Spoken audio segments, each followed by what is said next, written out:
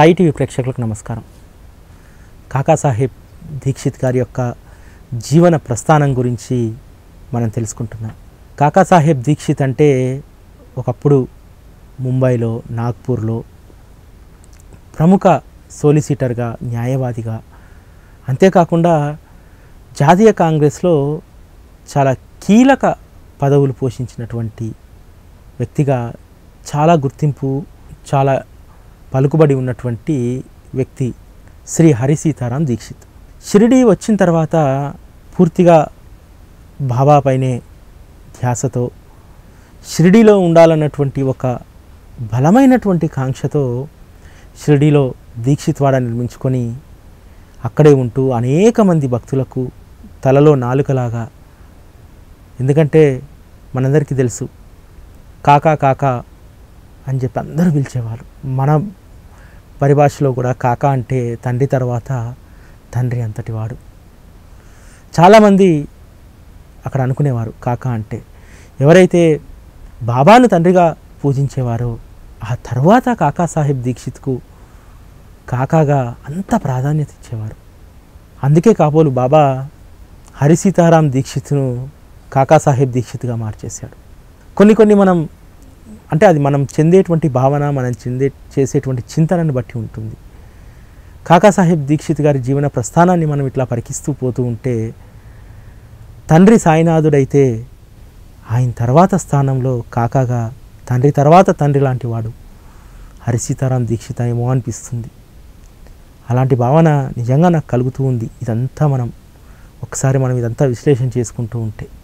అయితే ఆ విధంగా షిరిడీకి వచ్చారు ఎందుకంటే అప్పటి వరకు చాలా పెద్ద ప్రఖ్యాతిగాంచినటువంటి సోలిసిటర్ స్థానంలో ఉన్నటువంటి హరిసీతారాం దీక్షిత్ షిరిడిలోనే ఉండిపోవడం వల్ల ప్రాక్టీసు క్రమక్రమంగా తగ్గిపోతూ వస్తూ ఉంది. మీ అందరికీ ఇప్పుడు అంటే ఈ రోజుల్లో కూడా మనకు ఏదైతే లీగల్కి సంబంధించినటువంటి అడ్వకేట్స్ కానీ లేకపోతే చార్టెడ్ అకౌంటెంట్స్ కానీ లేకపోతే కంపెనీ సెక్రటరీస్ కానీ వీళ్ళందరూ కూడా ఏంటంటే ఒక నలుగురు ఐదుగురో కలిసి భాగస్వాములుగా ఉండి ఒక కంపెనీని పెట్టి ఆ కంపెనీ ద్వారా వివిధ రకాల కేసుల్ని వాటిల్ని డీల్ చేస్తూ ఉంటారు. ఆ రోజుల్లో కూడా కాకాసాహెబ్ దీక్షిత్కు ఉన్నటువంటి కంపెనీలో సొలిసిటర్ కంపెనీలో అతనితో పాటు ఇంకొక ఇద్దరు భాగస్వాములు కూడా ఉండేవారు. వారే ధనుజీ షా ఇంకొకరు రాజా బహదూర్ నారాయణ. వీరు చాలా సందర్భాల్లో కాకాసాహెబ్ దీక్షిత్తో ఆలోచన చేశారు. ఏంటంటే మీరు వెళ్ళి షిరిడిలో ఉండడం వల్ల ప్రాక్టీసు కుంటిపడిపోతుంది. మన కంపెనీని నిర్వహించాలంటే ముగ్గురం భాగస్వాములం కలిసి పనిచేయాల్సినటువంటి అవసరం ఉంది. మీరు ఎక్కువ కాలం షిరిడిలోనే ఉండడం వల్ల ఇక్కడ కంపెనీ వ్యవహారాలు చూసుకునే ఇబ్బంది కలుగుతుంది అని చెప్పి చాలా సందర్భాల్లో కాకాసాహెబ్ దీక్షిత్ గారితో ఈ భాగస్వాములు ఇద్దరు చెప్పడం జరుగుతుంది. తర్వాత చెప్పినప్పుడల్లా కాకాసాహెబ్ దీక్షిత్ అప్పుడప్పుడు రావడం పనులు చూసుకోవడం వెళ్ళిపోవడం జరుగుతుంది. ఇక ప్రాక్టీస్ చాలా కుంటిపడిపోతుంది. కంపెనీ నడపడం చాలా క్లిష్టతరంగా మారిపోతుంది. కాకాసాహెబ్ సోదరులు బాయాజీ సదాశివరావుల వద్దకు వచ్చి చాలా సందర్భాల్లో చెప్పడం జరుగుతుంది. ఎలాగైనా సరే కాకాసాహెబ్ దీక్షిత్ గారిని తీసుకొచ్చి మరలా ప్రాక్టీస్ చేసేలాగా ఇక్కడే ఉండి కంపెనీ వ్యవహారాలు నడిపేలాగా చూడాలని చెప్పి. అయినా సరే పెద్ద మార్పు లేకపోవడంతో సోదరులు ఇద్దరు కూడా వెళ్ళి బాబాతో ఉన్న విషయం చెప్పడం జరుగుతుంది. ఈ విధంగా ప్రాక్టీస్ లేకపోవడం వల్ల కంపెనీ వ్యవహారాలు మిగతా ఇద్దరు భాగస్వాములు చూసుకోవడం కష్టమవుతుంది. మీరు ఎలాగైనా సరే మీరు చెప్తేనే వింటారు. బాబా మీరు ఒకసారి దీక్షిత్ గారికి చెప్పండి అని చెప్తారు. బాబా ఒకసారి పిలిచి దీక్షిత్తో అంటారు. నువ్వు బొంబాయి వెళ్ళి పని చేసుకో. నేను కూడా ఒకప్పుడు కష్టపడి పని చేసిన వాడిని పని చేస్తేనే కదా మనకు ఫలితం ఉంటుంది. పని మానేస్తే ఎలా? అని చెప్పి నచ్చ చెప్తారు. అలా బాబా చెప్పినప్పుడు కొన్ని రోజులు మళ్ళీ ముంబైకి వెళ్ళడం అక్కడ కంపెనీ వ్యవహారాలు చూసుకోవడం. ఒక నాలుగైదు రోజులు కాగానే ఎందుకో మనసంతా అదో రకంగా అతలాకుతలం అయిపోయి మళ్ళీ ఎప్పుడు షిరిడి వెళ్దామా అన్నటువంటి ఆలోచనతోటే హరిసీతారాం దీక్షిత్ గారు ఉండేవారు. ఎందుకంటే ఎప్పుడెప్పుడు షిరిడీకి వెళ్దామా బాబా పాదాలను ఎప్పుడెప్పుడు స్పృశిస్తానా బాబా పాదాల చెంతకి ఎప్పుడు వెళ్తానటువంటి ధ్యాసే తప్ప తన కంపెనీ వ్యవహారాలపైన కానీ తన యొక్క వృత్తి పట్ల కానీ తన మనస్సును ఆలోచనలను నిలపలేకపోయేవారు. సరే చాలా కాలం చూడడం జరిగింది ఇద్దరు భాగస్వాములు కూడా. చూసిన తర్వాత కాకాసాహెబ్ దీక్షిత్లో ఎలాంటి మార్పు లేకపోవడం వల్ల కాకాసాహెబ్ దీక్షిత్ గారిని కంపెనీ నుంచి బయటికి పంపించడం జరుగుతుంది. దానికి కాకాసాహెబ్ దీక్షిత్ గారు కించిత్తైనా బాధపడలేదు. ఎందుకంటే తను నమ్ముకున్నటువంటి దైవం కంటే తను నమ్ముకున్నటువంటి సద్గురువు కంటే తన వృత్తి కానీ గౌరవం కానీ మర్యాదలు కానీ పలుకుబడి కానీ అన్నీ కూడా తృణప్రాయం అని చెప్పి భావించేవారు. ఆ భావనలోనే ఉండేవారు. ఎందుకంటే కాకాసాహెబ్ దీక్షిత్ గారు ఆ రోజుల్లో ఉన్నటువంటి ఆయనకు ఉన్నటువంటి పేరుకు గౌరవానికి పదవులకు అప్పట్లోనే కొన్ని లక్షల రూపాయలు సంపాదించేటువంటి సామర్థ్యం ఉన్నటువంటి వాళ్ళు అంత తెలివితేటలు ఉన్నటువంటి వారు. అయినా సరే వాటన్నింటినీ పక్కన పెట్టి కేవలం సద్గురు పాదాల చింతనే ఉండడానికి ఆయన జీవిత పర్యంతం అదే తపనతో ఉన్నారు. అయితే వృత్తిపరంగా ఇంకా తన కంపెనీ నుంచి బయటకు వచ్చిన తర్వాత మరొక అప్పుడే సోలిసిటర్ పరీక్ష ఉత్తీర్ణైనటువంటి పురుషోత్తం రావు మార్కాడ్ అనేటువంటి ఒక యువకుడిని పెట్టి మరో కంపెనీని ప్రారంభిస్తారు. అయితే పురుషోత్తం రావు కొత్తవారు. ఆయనకు పెద్దగా కంపెనీని ఒక్కడే సంధాయించుకోవాలంటే అయ్యే పని కాదు. దాంతో అతను కూడా వెళ్ళిపోతాడు. ఈ పరిణామాలకు కూడా దీక్షిత్ గారు ఏమాత్రం చింత చెందలేదు. ఎందుకంటే తన మనస్సు తనువు అన్నీ కూడా షిరిడిలో సాయిబాబా పాదాల చెంత మాత్రమే ఉన్నాయి. ఇవన్నీ కూడా లౌకికంగా జరిగేటివి ఏవి కూడా తను స్పృహకు రావడం లేదు. వీటన్నింటికంటే కూడా నేను షిరిడీలోనే ఉండడం ముఖ్యం. ప్రతిరోజు బాబా సన్నిధిలో గడపడం నాకి అదే నా ప్రాధాన్యత అదే నా వృత్తి అదే నా ధర్మం అని చెప్పి ఆ భావంతో ఉండేవారు. ఇది ఇలా ఉండగా ముంబైలో మాణిక్ లాల్ అనే అతను సొంతంగా సోలిసిటర్ కంపెనీని నడుపుతున్నారు. చాలామంది ఆయన కంపెనీలో భాగస్వాములుగా ఉండడానికి చాలామంది ఆసక్తి చూపేవారు.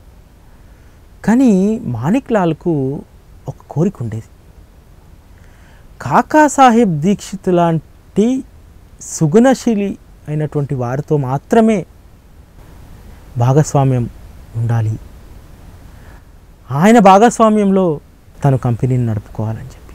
అయితే ఆ విధంగా కాకాసాహెబ్ దీక్షిత్ కంపెనీ నుంచి పురుషోత్తం రావు వెళ్ళిపోవడం ఆ కంపెనీ అలా ఉండిపోవడంతో మాణిక్ లాల్ మామూలుగా ఆల్రెడీ ప్రాక్టీస్లో ఉన్నటువంటి వ్యక్తి కంపెనీ చక్కగా నడుపుకుంటున్నాడు.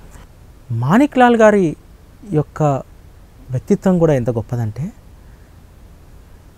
తన కంపెనీలో భాగస్వామిగా ఉండమని చెప్పి హరిసీతారాం దీక్షిత్ గారిని అడగలేదు.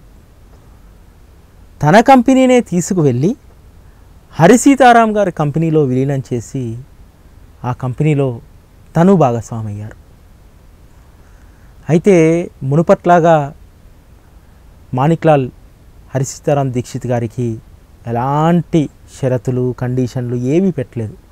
అంటే భాగస్వామిగా ఉన్నప్పుడు మీరు తప్పకుండా రావాలి కూర్చోవాలి పని చేయాలి అన్నటువంటిది ఏది ఏ నియమము పెట్టలేదు. దాంతో హరిసీతారాం దీక్షిత్ గారు తనకు వీలున్నప్పుడల్లా ఆఫీస్కి రావడం తనకు ఎప్పుడు వీలుంటుందో అప్పుడు కేసుల గురించి మాణిక్లాల్ గారితో చర్చించడం ఈ విధంగా జరుగుతూ ఉండేది. అయినా సరే ఏమాత్రం కూడా మాణిక్లాల్ దీక్షిత్ గారి పట్ల అసహనంతో కానీ లేకపోతే రావట్లేదు. పనంతా నా ఒక్కడిపైనే భారం పడిపోతున్నటువంటి భావన ఏమాత్రం ఉండేది కాదు. అయినా సరే కాకాసాహెబ్ దీక్షిత్ గారికి ఏదో ఒక లోటు. తను పూర్తిగా వృత్తిపైన కాన్సన్ట్రేషన్ చేయలేకపోతున్నాను. ఇటువంటి సమయంలో మాణిక్ లాల్ గారితో పాటు భాగస్వామిగా ఉండడం అది తను ఇంకొకరికి భారం కావడం మొదటి నుంచి కూడా హరిసీతారాం దీక్షిత్ వ్యక్తిత్వానికి చాలా విరుద్ధం. ఇక ఒకసారి చెప్పడం జరుగుతుంది మాణిక్ లాల్ గారితో నేను పూర్తి సమయాన్ని కేటాయించలేకపోతున్నాను. నేను కేటాయించే ఈ అరకొర సమయం వల్ల మీకు ఒరిగే ప్రయోజనం ఏమీ ఉండదు. కాబట్టి నేను కంపెనీ నుంచి నా భాగస్వామ్యాన్ని ఉపసంహరించుకుంటున్నాను అని అంటారు. అప్పుడు మాణిక్ లాల్ గారు హరిసీతారాం దీక్షిత్ గారిని అడుగుతారు మరి మీరు వెళ్ళిపోతా అంటున్నారు. మీకు చాలా పేరు ప్రఖ్యాతలు ఉన్నాయి చాలా కేసులు మీరు ఇందులో భాగస్వాములు అని చెప్పి ఉండడం వల్లనే చాలామంది క్లయింట్లు కూడా రావడం జరిగింది. మీకు గుడ్విల్గా ఏదైనా తీసుకోండి అని అడిగారు. మామూలుగా మనలాంటి వాళ్ళమైతే ఏమడుగుతాం? కంపెనీ యొక్క స్థాయిని దాని యొక్క కార్యకలాపాలని బట్టి డబ్బు అడుగుతాం లేకపోతే ఇంకేదో వస్తువు అడుగుతాం ఇంకేదో అడుగుతాం.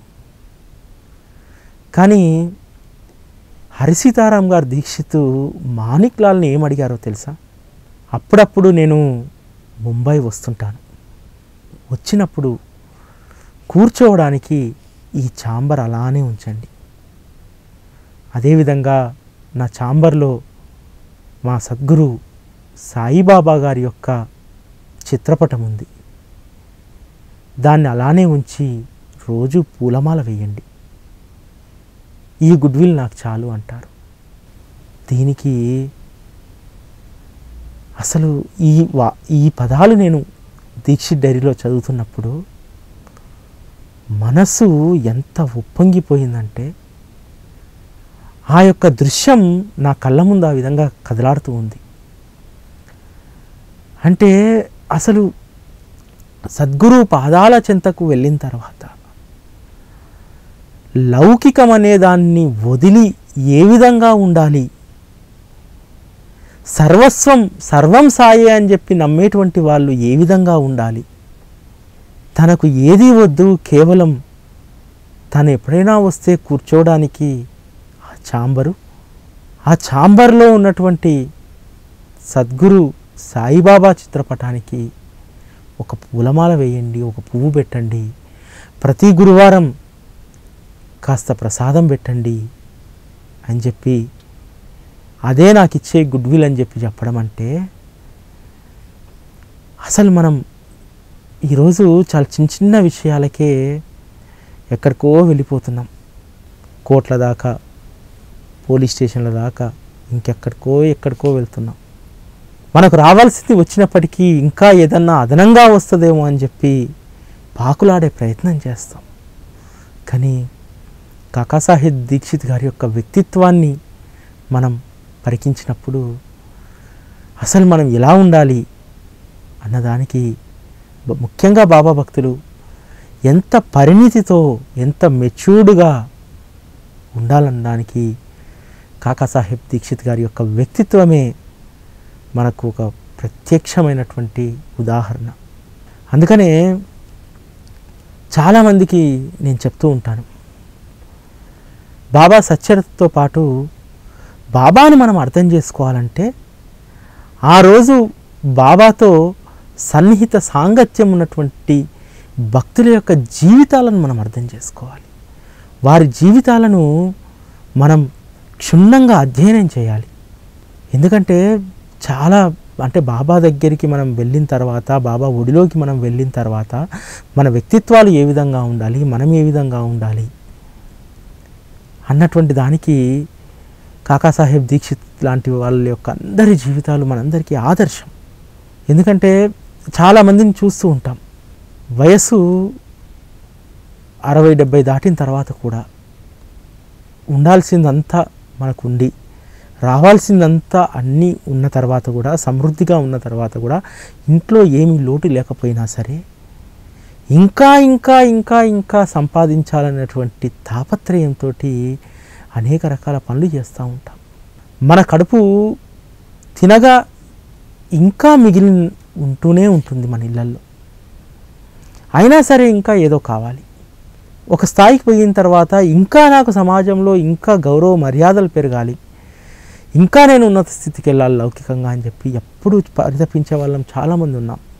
కానీ తను సంపాదించుకున్నటువంటి దాంతో తృప్తిపడి సంపాదించుకునేటువంటి అవకాశం గౌరవ మర్యాదలతో పాటు డబ్బు హోదా పెద్ద మొత్తంలో సంపాదించుకునేటువంటి అవకాశం ఉన్నప్పటికీ కూడా హరి సీతారాం దీక్షిత్ గారు ఒక్కసారి బాబా దర్శనం తర్వాత వాటన్నింటినీ కూడా క్రమక్రమంగా క్రమక్రమంగా తగ్గించుకుంటూ వస్తున్నారు.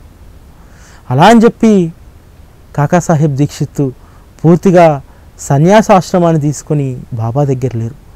ఒక విషయం మనం ఇక్కడ గుర్తుపెట్టుకోవాల్సింది ఏంటంటే మనం ఎవరైతే కాకాసాహెబ్ దీక్షిత్ యొక్క వ్యక్తిత్వం గురించి లేకపోతే ఆయన యొక్క జీవన ప్రస్థానం గురించి మనం మాట్లాడుకుంటున్నాము ఈ సందర్భంగా మనందరం కూడా ఒక విషయాన్ని గుర్తుపెట్టుకోవాలి. బాబా సాయిబాబా అనేటువంటి ఒక మహనీయుడు పరమాత్మ సద్గురుమూర్తి మసీదులో కూర్చొని ఎవరినీ కూడా సంసారాలు వదిలిపెట్టి సన్యాస దీక్షలు తీసుకోండి మీరు సన్యాసంలోకి రండి బైరాగులుగా ఉండండనో లేకపోతే ఇంకోటనో ఇంకోటనో మొత్తం అన్నీ వదిలిపెట్టి రమ్మనో ఎవ్వరికీ ఉపదేశించలేదు. ఉన్నదానితో ఏ విధంగా తృప్తిగా ఉండాలి? ఏ విధంగా ఉంటే జీవితం సంతోషంగా ఉంటుంది? ఏది మనకు తృప్తినిస్తుంది అనేటువంటి దాన్ని కాకాసాహెబ్ దీక్షిత్ లాంటి వారిని షిరిడీలో ఉంచుకొని వారి ద్వారా వారి జీవితాలను మనకు ఆదర్శంగా చూపుతున్నారు. కాకాసాహెబ్ దీక్షిత్ కూడా ఎప్పుడు కూడా తన కుటుంబాన్ని నిర్లక్ష్యం చేయలేదు.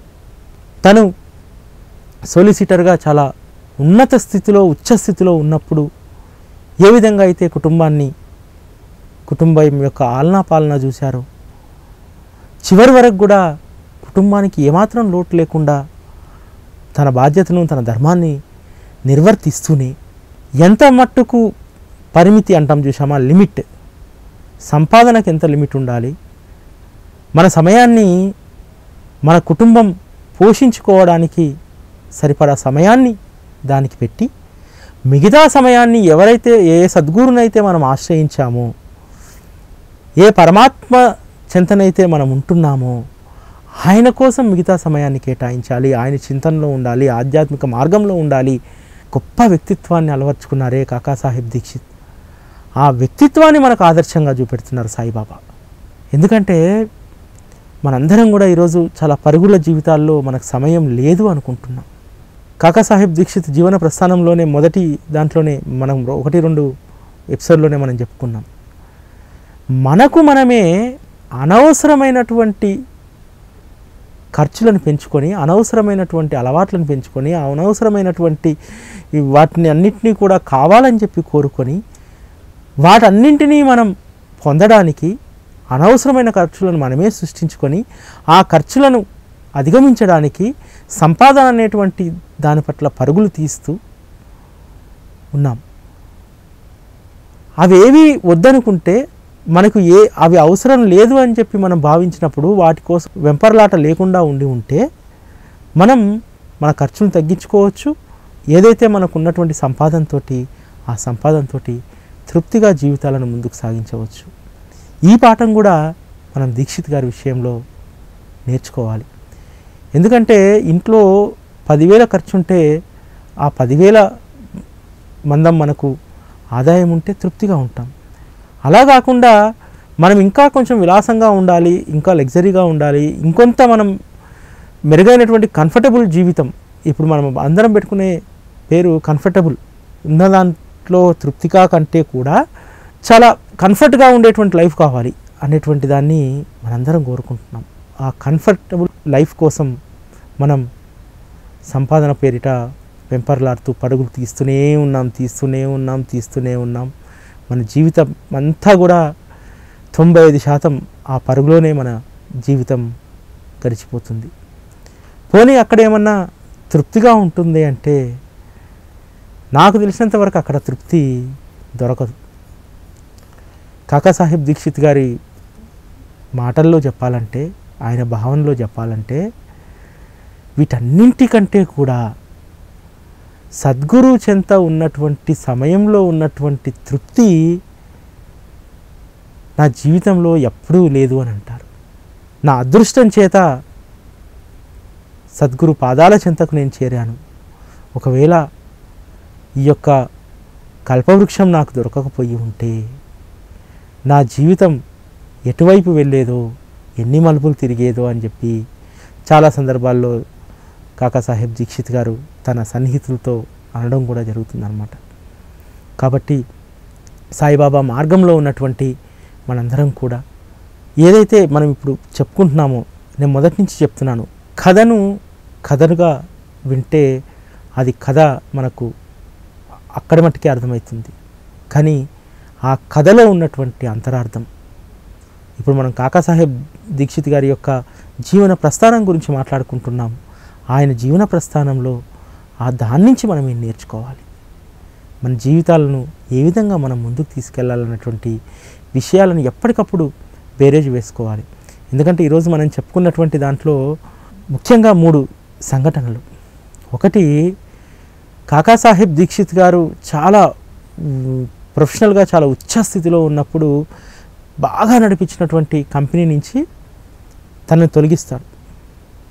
అక్కడ కాకాసాహెబ్ దీక్షిత్ గారు కొంచెమైనా బాధపడలేదు. సరే పోయిన తర్వాత మరొక కంపెనీ పెట్టినప్పుడు పెట్టుకున్నటువంటి ఆ అబ్బాయి ఎవరైతే జూనియర్ ఉన్నారో జూనియర్ వెళ్ళిపోయాడు అప్పుడు బాధపడలేదు. అనుకోకుండా ఒక అవకాశం వచ్చింది. ఓ కంపెనీలో ఆ కంపెనీని వదిలేసి దీక్షిత్ గారి యొక్క పేరు ప్రఖ్యాతలు ఆయనకున్నటువంటి సుగనశీలతను గుర్తించి ఆ దృ ఆ విషయాలను దృష్టిలో పెట్టుకొని తన కంపెనీనే దీక్షిత్ గారి కంపెనీలో మెర్చి చేసి ఏమీ పని చేయకున్నా సరే మీరు రాకపోయినా సరే మీ గౌరవం సంబంధించినటువంటి ఆ గౌరవ వేతనం మేము ఇస్తాము మీకు కావాల్సిన రెమ్యునరేషన్ కూడా ఇస్తామని చెప్పి వాళ్ళు చెప్పినా అలా ఉచితంగా తీసుకోవడం ఇష్టం లేక తనంతటగా తాను బయటికి రావడం జరుగుతుంది. కాబట్టి చాలామంది ఈరోజు మనకు ఒక మనస్తత్వం ఉంటుంది. ఒక ప్రొఫెషన్లో మనం చాలా ఉన్నత స్థితికి వచ్చిన తర్వాత మన దీక్షిత్ గారు లాగానే మనకు కూడా కొంత ఆధ్యాత్మికత వైపు మనం మళ్ళితే దీక్షిత్ గారికి వచ్చినటువంటి అవకాశమే మనకు వస్తే ఎవరో ఒకరు మీ పేరు వాడుకుంటామండి మీ పేరు మీద మేము మంచి కంపెనీ పెడతామండి అంటే వారి నుంచి పైసాకు రెండు పైసలు వసూలు చేసుకునేటువంటి మనస్తత్వం వ్యక్తిత్వం మనకు ఉంటుంది కానీ దీక్షిత్ గారు లాంటి మనస్తత్వము ఆ వ్యక్తిత్వము మనలాంటి వారికి అవి రావు. అందులో కొంచెమైనా మనం అలవర్చుకునేటువంటి ప్రయత్నాన్ని మనం చేద్దాం. దీక్షిత్ గారి అంత మహోన్నతంగా అంత మహోన్నత వ్యక్తిత్వం మనకు రాకపోయినా అందులో కొద్దైనా మన జీవితంలో ఏదో ఒక సందర్భంలో కొంతైనా మనం దాన్ని అలవర్చుకోవడానికి ప్రయత్నించేద్దాం ఇది ఈరోజు కార్యక్రమం. మళ్ళీ రేపటి కార్యక్రమంలో కలుద్దాం. అప్పటి వరకు సెలవు. నమస్కారం.